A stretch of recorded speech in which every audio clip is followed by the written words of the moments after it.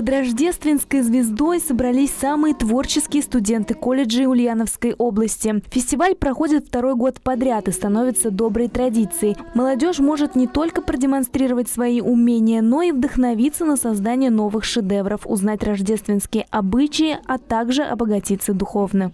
Фестиваль – это именно фестиваль, где ребята могут э, проявить свои таланты в различных сферах, э, на различных творческих площадках. Это и художественная мастерская, и музыкальная гостиная, и литературная творческая мастерская, и э, использование современных технологий, но виртуальных экскурсий в различные страны, где, э, исполь... где Рождество отмечается. Поэтому это такой большой фестиваль, э, но он такой светлый, не соревновательный.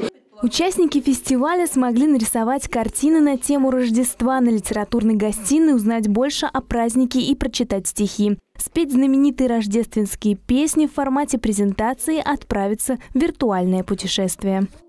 Каждую зиму ребята со всех дворов приносят самодельные игрушки, а потом со специальной машины их вешают на елку, рассказывал дедушка внуку.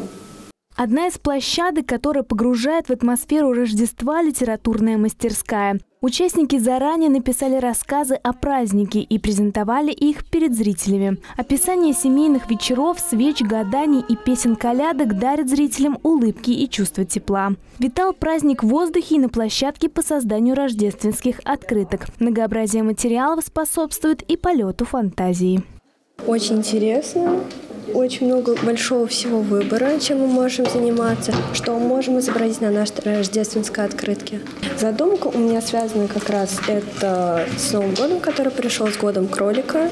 Вот еще хочу добавить э, что-то в виде снежинок и ленточек.